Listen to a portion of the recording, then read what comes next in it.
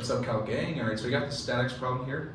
So we got this 50 pound cylinder, uh, and it's attached to a barrel, and uh, it's attached to a roller, which has a force P applied to it. So that P is 100 pounds, and that tells us that it's the maximum force that you can apply for the system to stay at equilibrium. So what we're trying to find is this theta here. What is the degree at that angle? So let's just go ahead and try to solve this. So what we're going to end up with is pretty much a big system of equations. Um, so we have a couple unknowns, and we're just going to try to solve them. So what we want to find first of all is I drew this force body diagram already, because this is kind of the easy part, and I solved the previous part of this question in the last video, so check that out already.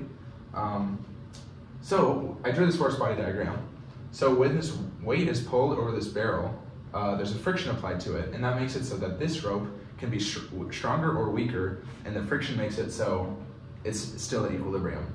So we're told that the P is at its maximum force um, before that this thing is equilibrium, which means that this tension is going to be greater than this weight.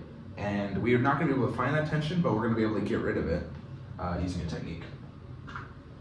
So let's start with the equation that we're going to use for this.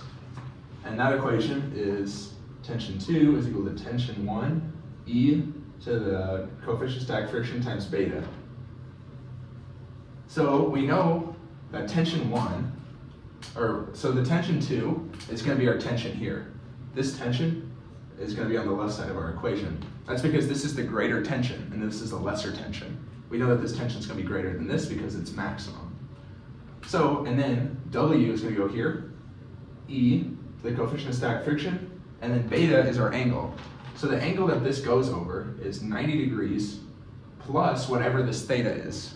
So beta is equal to 90 degrees plus theta. Theta is what we're looking for. That's what we're trying to solve. So how are we going to find this? Well, let's just go ahead and plug it into our equation here. Tension is equal to, so weight is 50 pounds, E, oh, oh beta here, to 0.3. And then, so we need this in radians. So 90 uh, degrees is pi over 2 radians plus theta. So in this equation we have two unknowns. We have tension and theta. So we don't know this and we don't know that. And we can't solve yet. So what we need to do is write another equation so we can have a system of equations.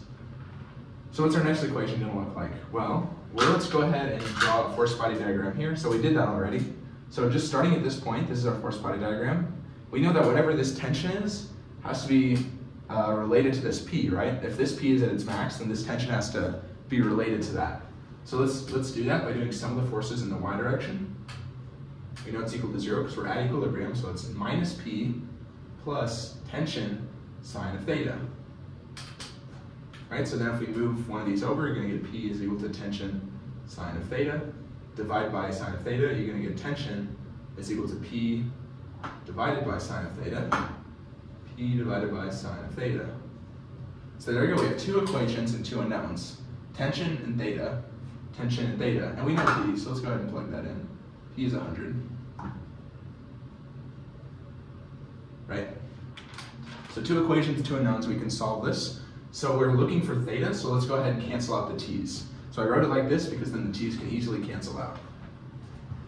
So we're just going to set the two t's equal to each other because we know they're the same thing. So it's going to be 50 e to the 0.3 pi over 2 plus theta is equal to 100 over sine of theta. So we're going to multiply the sine theta over, and then the 50 and the 100 are going to kind of cancel out. So you're going to get sine of theta, e, to the 0.3 pi over 2 plus theta is equal to 2. So then let's go ahead and move this 2 over. So it's going to get sine of theta, e, to 0.3 pi over 2 plus theta minus 2 is equal to 0. So now we have this crazy equation, and I, I, you know, I challenge you to try to find the point. All right, I challenge you to try to set up an equation to find where this theta makes this equation true. But we're looking for the theta that this makes the equation true because we know that that is going to be our theta. So you're left with this crazy equation. What are we going to do about it? Well, uh, there's a couple techniques. So we're engineers, right? We're in an engineering class. So sometimes you just can't do the math and you gotta have a calculator. So you can plug it into an online calculator, or what I did is I had my graphing calculator, I plugged in the equation here, and I found where this is equal to zero. And you find where this is equal to zero, and that finds what your theta is. So your first theta, where it's equal to, where it's true, is equal to 1.11.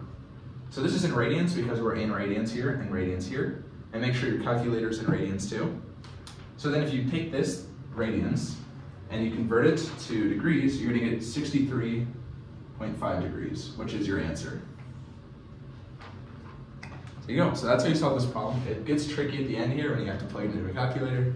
But of course, everything else is just kind of um, knowing where your friction comes from and drawing a force body diagram. So yeah, thanks for watching guys. I'll see you in the next video. Uh, check out my playlist. And yeah, bye.